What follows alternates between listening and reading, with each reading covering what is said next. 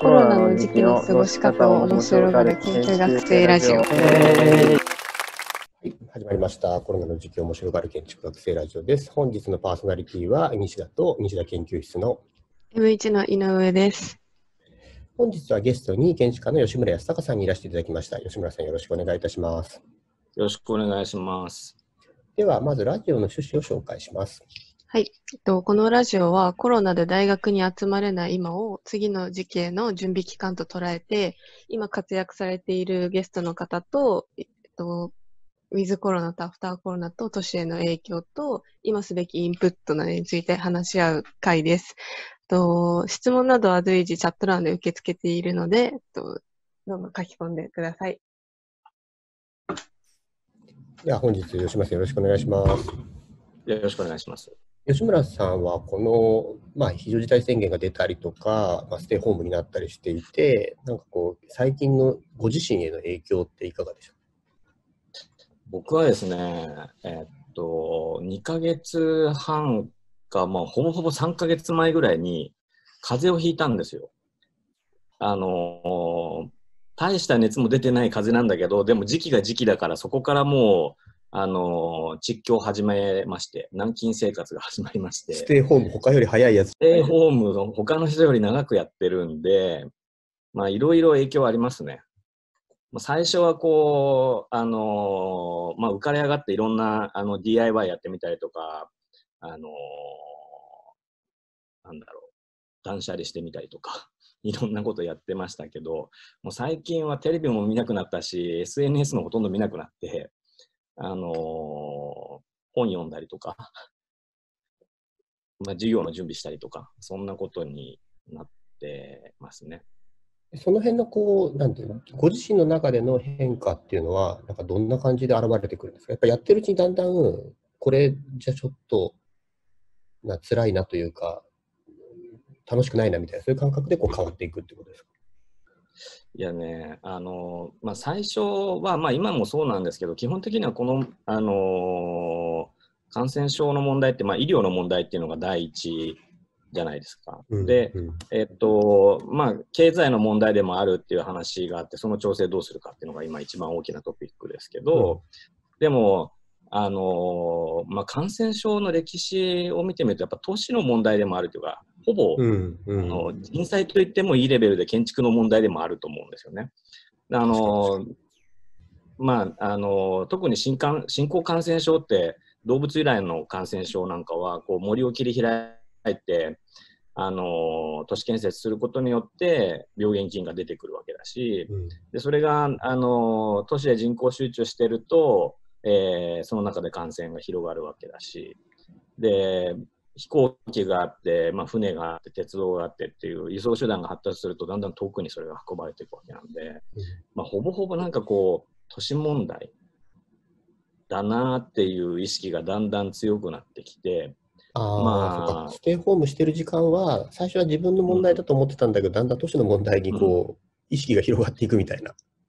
そうですね。だまあ、短期的な対策としても建築としてやらなきゃいけないこともあるし、まあ、長期を眺めてみたときにも建築で考えなきゃいけないことが多いなっていうのがだんだんわ分かってきて、うんで、まあ、最近はだから、あのーそんなことばっかり考えてますね。本読んだりとか、一人で勝手に年表作ったりとか、なんか、表ですか？年表、あの、なんだろう、あの、今のことばっかり見てると、本当は SNS とかテレビ見てるとうんざりしちゃって、もう、あの、情報に振り回されないように、本当に見なくなっちゃったんだけど、あの、でも、他に興味がなくなったわけじゃなくて、やっぱなんかこう1000年ぐらいのスパンで見てみると、結構繰り返し繰り返しこの感染症が起こってるわけで、あのまあそういうものを見てた方が、ちょっと心が落ち着くっていうか、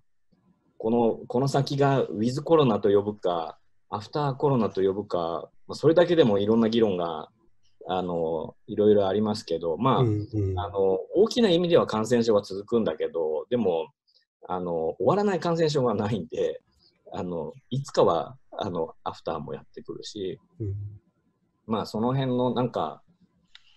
自分の方の尺度を大きくしてみると少し安心するみたいそういうところがあるかなと思って。えそのこうそういうことを考えてるときって、やっぱりその昔の文献を調べたりとか、そういう感じで本を読んでるってことですか？いや、もう最近の本ですよ。最近の感染症の本を、あの、読んでいて、で、なんか自分でいろんな、こう、その当時の建築のデザインの潮流とかと紐付けして見ていくと、あの、なんか面白いっていうか、面。白いっていうけど、感染症の本を読んでるんだけど、歴史のその分布みたいなのがあるから、その当時やってた建築のムーブメントというか、動きをそこにこう、まあ、照射していくっていうような読み方をしてるってことですか？まあそうですね。ほぼほぼその、そういう問題として見てるんで、例えば一例とかでいいんで、吉村さんが最近こう感じてる中で今、ちょっと落ち着いてきてるって、あのご自身の気持ちが落ち着いてきてるって言われてましたけど、こういうのをこう発見してとか、こういうことになんとなく自分の中で整理がつき始めてきたら落ち着き始めたとかってありますか？これ、これって、あの、画面共有とかしてもいいんですか？あいいですよ。あの そうそうそう。こんななんかもう、あのー年表を作って一人でニマニマしてるんだけど、まあ、あのもともとはね、一番最初は、その、えーっと、こういう大きな、まあ、エピデミックとかパンデミックみたいなことが起こった歴史を振り返ると、まあ、例えば14世紀のペスト、黒黒死病えー。と、まあ、えっ、と、20世紀のスペイン風邪みたいなのがパッと思いつくけれど、えー14世紀はヨーロッパも人口がもうガクッと半減するような、あのーペストが流行して、で、その時のペストの渦中に、えっ、と、スポリアって、例えば、こうアドホックにあの建築の部材を他の建物から転引っ張ってきて転用して作るみたいな、こう、美学が、あの、出てきて、えー。えーまあ、その話って、あの、加藤先生の、東大の加藤先生の、うんうんあの、時が作る建築の中に書かれている話だけど、その、えっと、まあ、そういうき 機器の最中のデザインがあって、で、その後で、あの、まあ、ルネサンスみたいな、あの、古典復興とか、こう、人間来産みたいな、なんかそういう表現が出てくるわけですよね。で、あのまあ、克服したと思われるときに、やっぱりなんかある種の揺り戻しっていうか、原点回帰とかあの健康とかへの憧れとか、そういうものが表現になってくるっていう、えーことがあるように見える。まあなるほど、結局なんか、この右と左は、あの左が情報量が少ない表現で、えっと、右は情報量が多いものが基本なんだけど、うんだから左だけ読んでいくと、ロマネスク、ルネセンス、新古典、バウハウスだって、右だけ読んでいくと、ゴシック、バロック、アルヌーボーみたいなのが出てきてて、まあ、なんか、情報が少ないとこからだんだんだんだん情報が増えてって、で、なんか、感染症が流行すると、反対側に触れる。突然情報量が少なくなるっていうのを繰り返してるように見えるんですよね。なるほど。で、まあ、あの、アール・ヌーボーの後は、まあ、バウハウスって書いたけど、モダニズム全般と言ってもいいんだけど、まあ、あの、1918年にスペイン風邪が流行して、まあ、バウハウスもちょうどその頃ですかね、19年とか。で、えっと、この間タイムスかな？かなんかも書いてたけど、あの、マルセル・ブロイヤーが、えっと、まあ、あの、合板と、えー鉄パイプの椅子を作ったのは、結局、あの掃除が簡単。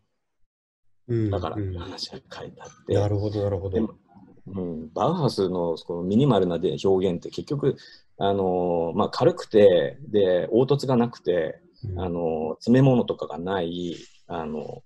シンプルな家具っていうのはこう掃除がしやすいからみたいな話が書いてあってで、まあ、その掃除がなぜかっていうとそのスペイン風邪の流行がこう関係してるって話なんですよね。結局なんかこう衛生とかあのまああの掃除、清掃みたいなことを考えると、デザインがどんどん単純化するみたいな流れが、まあ、繰り返し繰り返し出てるっていうのがなんとなく気になっていて、いや、でもそれめっちゃ今の時代と整合するというか、符合するというか、うなんかこう、公衆衛生的な感覚が、そのまあ、なるべくデザインのミニマルな部分につながるとか、最初に吉村さん言われた、こう、人間が原点、現象的に欲することに、比較的こう、揺り戻しが起こるとかっていうのは、いや、なんか、すごいいい年表ですね。長い目で見るとね、なんかまこれ怒られるかもしれないけど、あの結構そういう振幅があって、複雑になったり、シンプルあの単純になったりっていう振幅の中で、こう、モードとかトレンドみたいなものが、様式みたいなものが推移してるけど。で、まあ20世紀より後これ、あえて書いてないんだけど、あの、バウス、バウハウスから後もだんだんだんだん複雑化してるのは確かだと思うから、その後何が起こるかっていうのも、まあ、興味は湧きますよね。今これ言うとあんまり不謹慎かもしれないけど、でも、こう、長い目で見て、その、都市をどういうふうに、あの、整理していくのかみたいな話は必ず起こると思うし、建築の表現自体も、やっぱり何かしら影響出てくるんじゃないかなって思ってますけどね。なんか、まさにこのラジオの趣旨は、なんかこの時期を、まあどういう、まあ過ごし方をする、まあインプットの時間に当てると、まあ次の自分たちの準備にも、まあ出れるんじゃないか。まあ建築だとしたら、設計が何を対象にするのかとか、まあどういうことが都市に起こるのかっていうことを考える時期になるんじゃないかっていうことを対象に、まあ少しこうゲストの人と話そうっていう回なんですけど、なんか今の吉村さんの話聞いてると、なんかこの、ここから先どういう建築を必要とするのかっていうことを考え始めることに、なんかすごい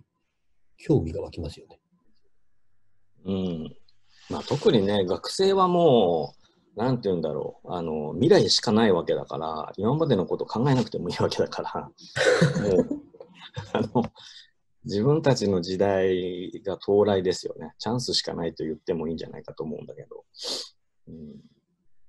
吉村さんがよ学生に、なんかこう、今だからこそこういうことに時間使っといた方がいいよみたいな思うことってありますか？えーっと、なんだろうな、まあ、いろいろやっていいんです。いいと思いますよ。これみんながこれやんなきゃいけないってことはなくて、まあ、むしろ今までみんながこれやらなきゃいけないと言われてきたことが今までの教育だったけど、まあ、そこで養われてきた、あの、知見がいろいろ、こう、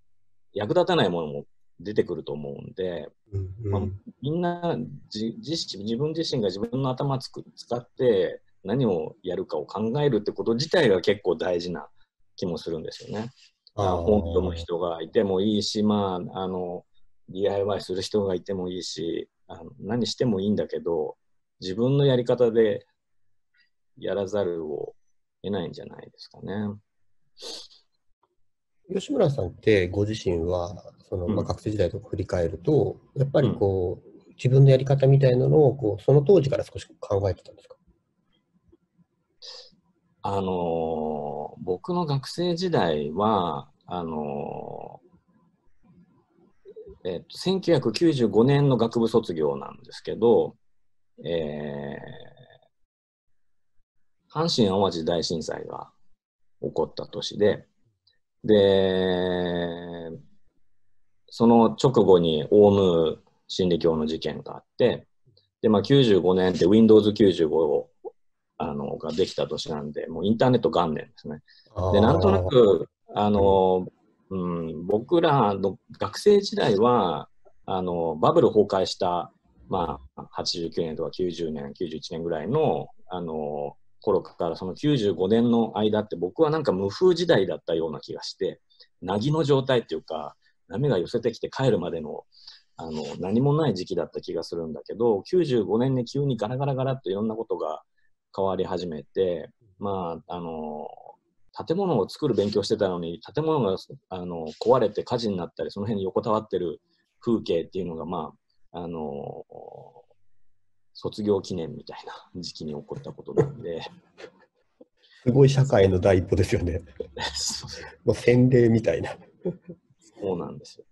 ででも、あのーまあ、そこからだからインターネットが生まれて、まあ、本当に生まれたらもっと前だけどね、いやあの一般に普及し始めて、まあ、ゼロになって、そこから、あのー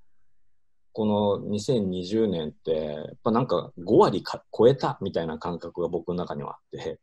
うんうん僕らの時間の使い方の中で、実空間の中にこう意識がある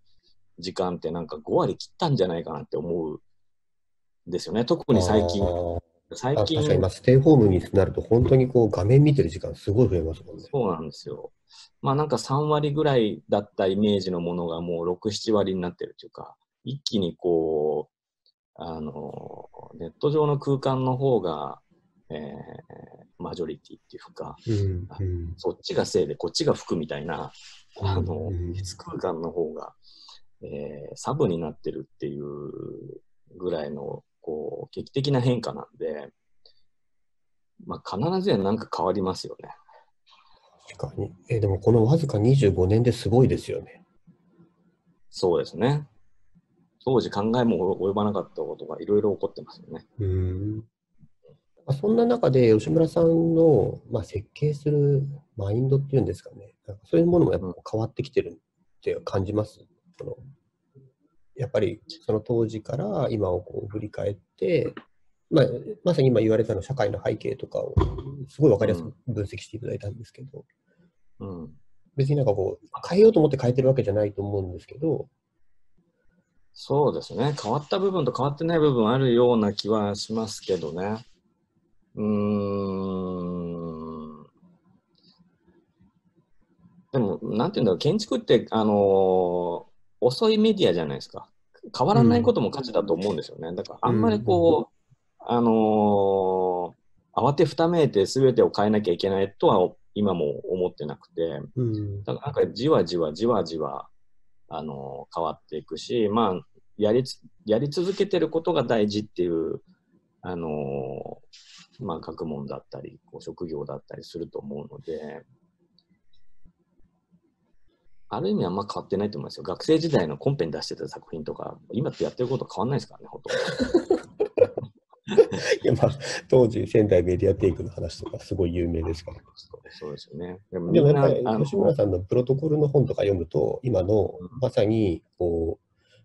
まあ、インターネット元年からの今までの間で、まあ、流通とか、その当時は専門家の人しか使われないと思っていた IT みたいなことも一般化されたりとか、なんかそういう中で、まあ建築の考え方にその辺がすごい影響を及ぼしている社会に投げ込んでるような感じがやっぱりあって、うん。まあ、そういう意味では、まあ、吉村さんが先取りを学生時代からしてるっていう説もありますけど。まあ、先取りだったかは分かんないけど、うん、あの興味ありましたね、そういうことにね。うんうんなんかそういうことをなぞらえると、やっぱ今のこの、先ほどまあちょっと年表的にこう見せていただきましたけど、なんか今の時期からこの次の未来に向かって、まあ、少しずつこう歩み始めるときも、なんかいきなりこうバーンって変わるんじゃなくて、徐々にこうそれが浸透していくことが何なのかっていうのを、まあ、自分自身で、まあ、学生に見つけるというか。そうですね。何やったらいいかな、うーんと学生、今、まあ選挙行けですかね。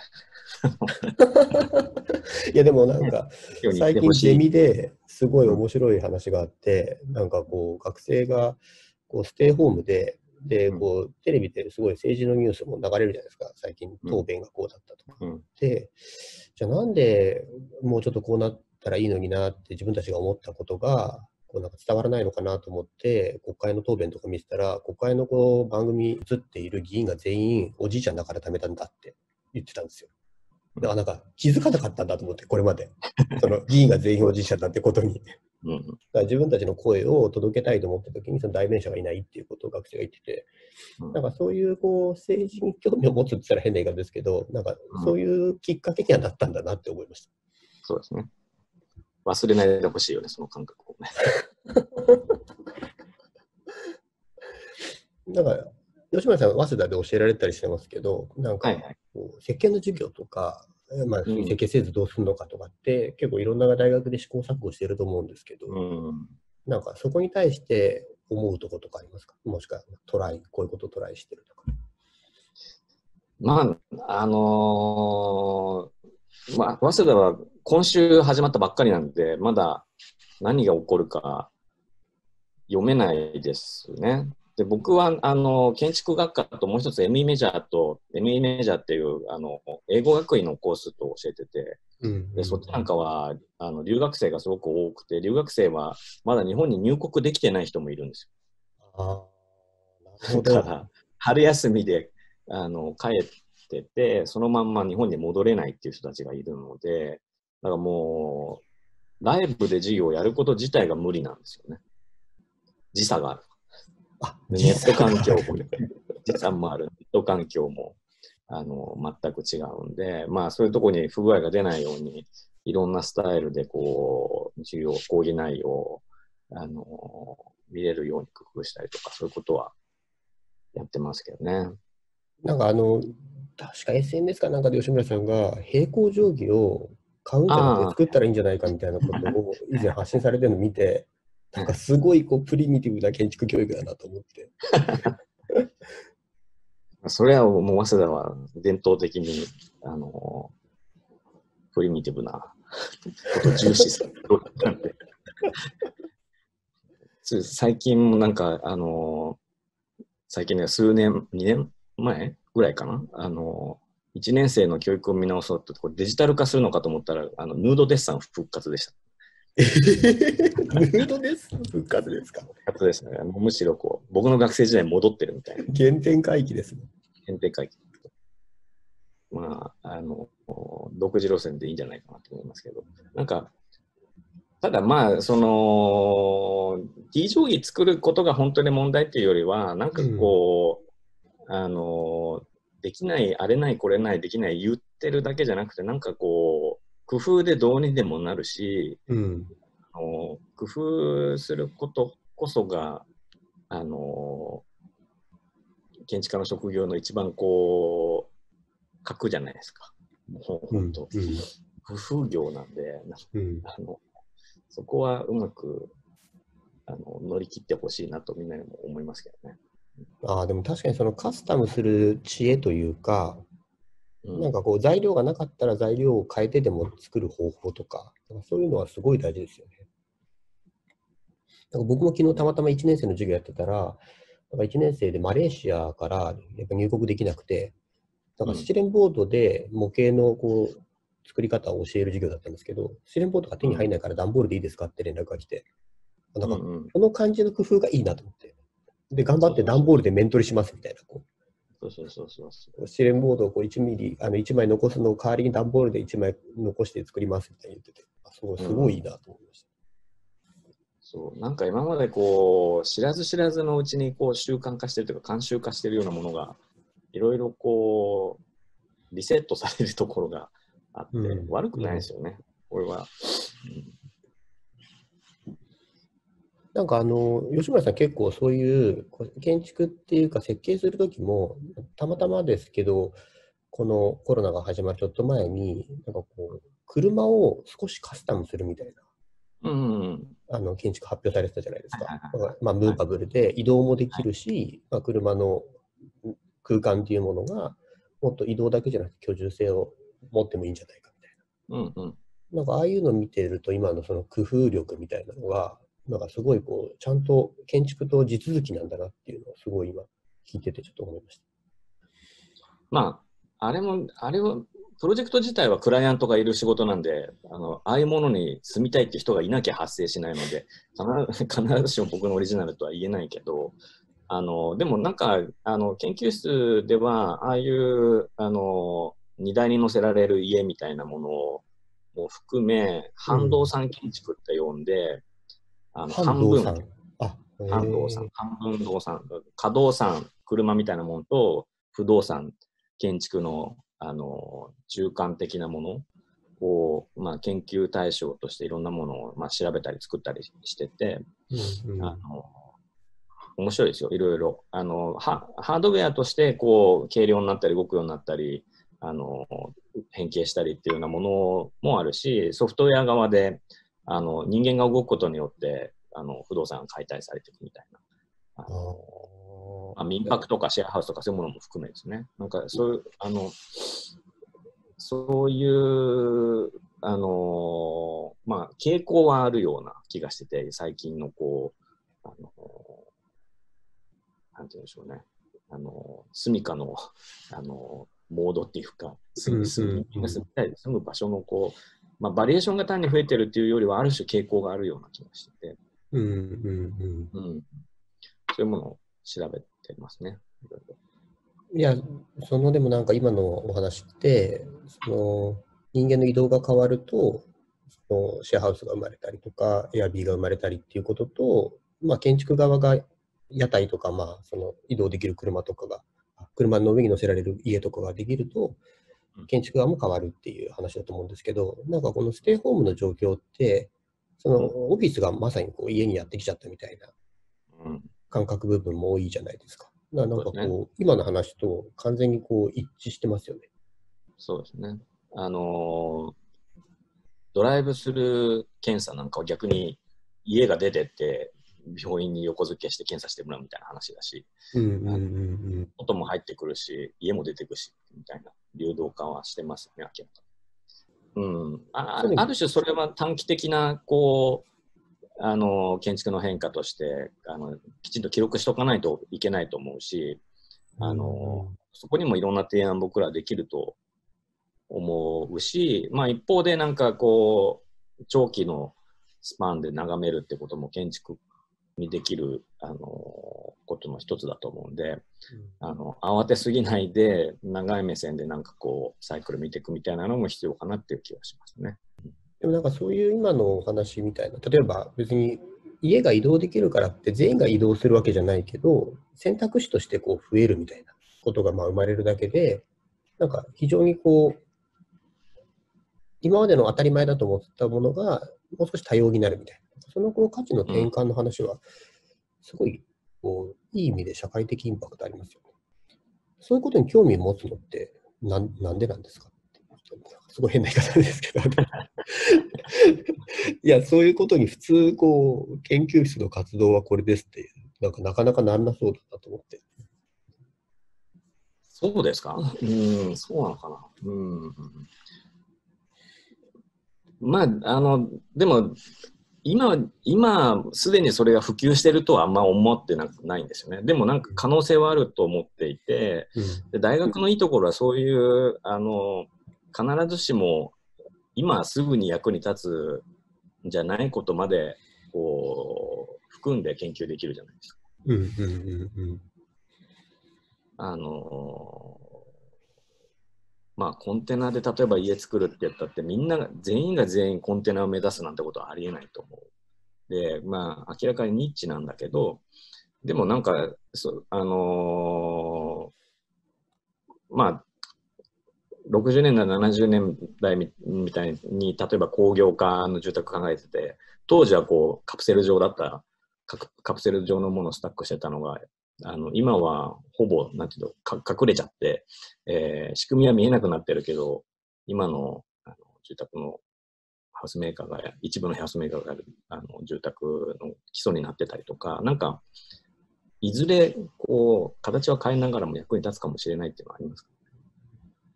確かに、でも吉村さん、コンテナでホテルとか作ってますもんね。そうそう、最近もね、またよくやってるんですよ。なんか、あの、限定、それこそ原点回帰じゃないけど、一時期コンテナもう飽きちゃってて嫌だったんですけど、あんなに本まで出してるのに形をいじれないってなんかちょっとストレスじゃないですか。僕ら形作る職業なの。あそうそう。で、それがストレスであんまりこうやりたくない時期があったんですけど、最近はちょっとまた、あの、興味が出てきて、あの、いろんなレンジの、まあ、大きいものももうコンテナ1個だけで使うようなものも含め、いろいろやってますね、研究室の学生たちとも一緒に。僕、去年スイスに行った時に、フライターグのあのこう、機関店に行って、うん、吉村さんが言ってたやつはこれかって、もうなんかすごい感動しましたもん。そしてやっぱり街の中に現れるその風景も印象的というか、で本当にこう、運んできたものがそのままそこにこう現れるっていう、その、すごい少ない操作で建築が生まれている強度みたいな、そういうのがすごいあって、うん。その横にちょうど公園というか、まあ、広場をこう活用した屋外レストランみたいなのがあって、そことの連動性もあって、なんかすごいうん。街にいい場所ができてるなっていう、あの、うん。仮説的なアプローチなのに、うん。使われ方はすごい向上的っていうのはすごい面白いなと思って見ました。なんか、本当コロナで、まあ、いろんな、その、ま、なんていうんだ、今までのこうパブリックスペース変わると思うんで、うんあのチャンスでもありますよね。あの、ななんていうんだろうな。あの必ずしもこう空間をシェアして、あの手つないで一緒にいるっていうだけがこう交流じゃなくなってくるので、あのなんていうんだろうな。まあ、コンクリえっと、コンティニアスか、連続か、不連続か、コン,、うんコンティニアスか、ディスクリートか、みたいな話から、まあ、同期するか同期、非同期かみたいな、あの話も結構重要度増してくるような気がして、授業やってて、オンデマンドかオンラインかでこんなに違うのかみたいな。やっぱ同時にこう画面を見るっていうことの価値はまだあるような気がするし、ああ、そうですね。うん、このオンラインの祝祭性みたいなものもなんなんか、あの面白いなと思って見てたりもするんで、なんかたパブリックスペースの中にもそういうものを組み込めるかもしれないし、まあ逆に本当にいいかパブリックスペースってなんかみんなが一緒に活動するため、ことができるのは当たり前で、一人で行ってもなんか楽しいのは、あの、いいパブリックスペースの条件だと思うんで、だったと思うんで、なんとなくこう、そういうネット上の空間の、空間というか、まあ、時間のシェアの仕方みたいなものも変わってくるかもなって思ったりしますけどね。なるほど、なるほど、なるほど。いや、でも確かに今聞いてると、その、この間、